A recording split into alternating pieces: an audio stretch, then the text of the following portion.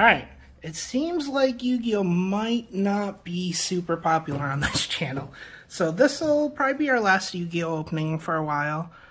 Um, July I do get cases of the first five set reprints, so I might not be able to help myself. But I'm pretty sure this is going to be last for a while. Uh, so if you are here, uh, obviously cardpunk.games, best source for sealed product. And uh, definitely give us a subscribe on YouTube. Alright, we're trying to get to that 1,000 subscribers so we can do some nice giveaways. Ooh, okay. That was interesting how the packs fell out. Okay. Uh, so what are we looking for in here? Uh, Starlight Rare would be great. no questions about that. That would be a pretty big hit. Those are like 1 out of 14, 15 boxers or so. So, probably not going to hit that. Uh, this set, uh, Battle of Chaos, does have a ultra rare Dark Magician. Uh, that's just randomly inserting. It doesn't take the place of uh, anything other than a common. So we'd love to see that.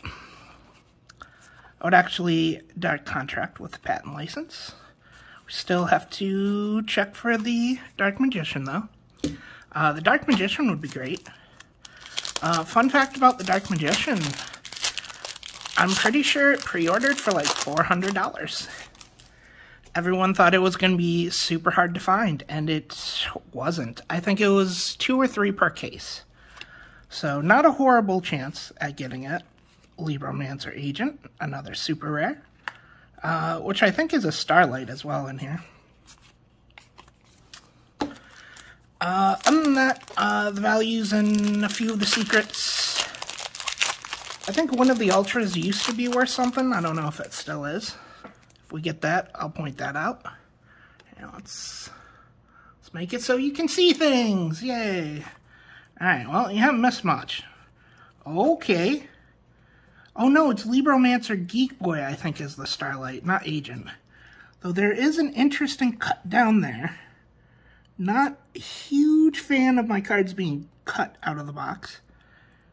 I guess it's not a cut. Maybe it's a weird print line. Yeah, there's a print line across as well.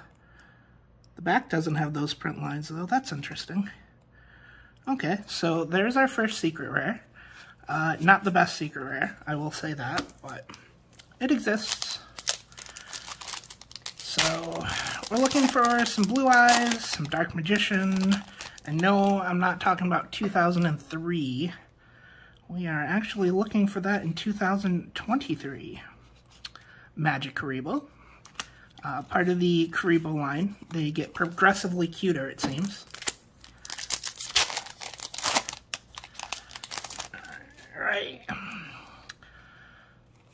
So, let's see. Anything... Ultimate Fusion is a cool card. I think it's... I think it's a dollar or two. Somewhere around there. Uh, maybe not this version, actually. Maybe I'm thinking of a different version that's a dollar or two. Like maybe the, I think Ultimate Fusion was in the, uh, what's that Kaiba set called? Was it Legendary Collections Kaiba maybe? Uh, it was one of the, I think it was a Game Board set originally. No, I think it's like uh, Legendary Collection Kaiba. I'm going to say that's what set it was. Uh, that, oh, Chaos Nephthys a ultra rare. Uh, I think that's what set it was from. I think uh, they had an ultimate printing, maybe? If not just uh, super and ultra in it. I think that set might be the one I'm thinking of. That's a buck or two. I don't know if it is out of uh, Battles of Chaos. Nordic Relic. I am hoping to see that Dark Magician, to be honest. Uh, as, as great as a Starlight would be, uh, I don't have a ton of hope for a Starlight. I do have hope for a Dark Magician, though. Dark Magician would be nice to see in here. Uh, but, ooh, Libromancer's first appearance. I don't think that's uh, anything.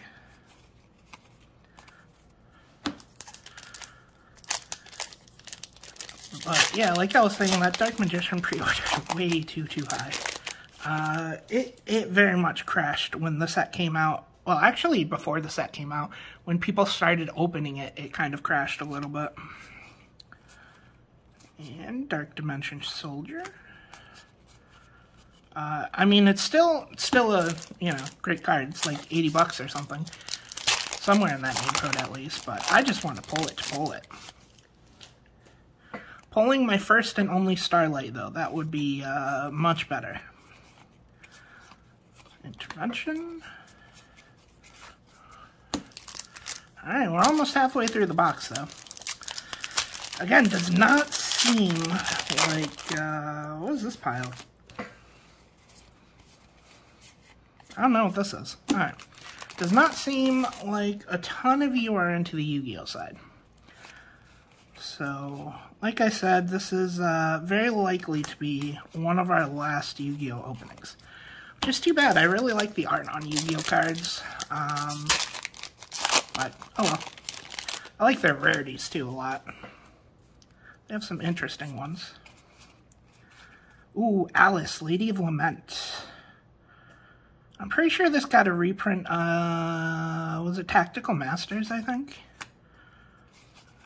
I think I remember that being in Tactical Masters. Could be wrong pretty easily wrong even sometimes. Nordic Beast. Alright, we're on the second half of the box now. Let's see what we can do. Let's see what we can do. White Relic of Dogmatika?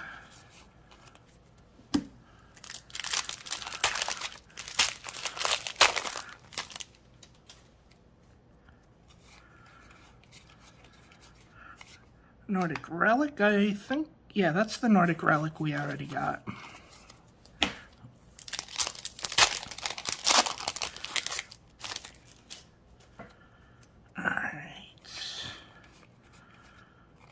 XYZ combine. Lex, er, no.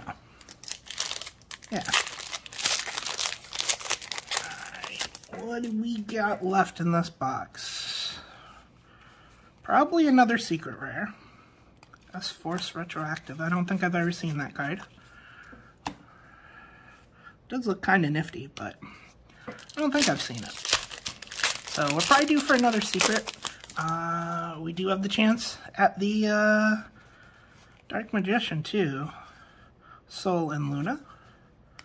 I don't think that's uh, anything we're really looking for.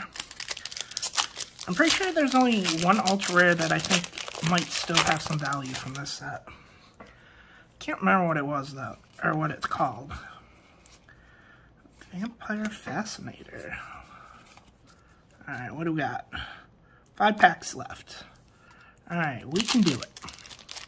We can pull something good. At least give us a Jet Dragon. If we can get a Blue Eyes Jet Dragon, we'll be pretty happy. Oh, this is actually the ultra rare I was thinking of. Yeah. I don't know if it's still worth anything, but I'd be very interested to see it.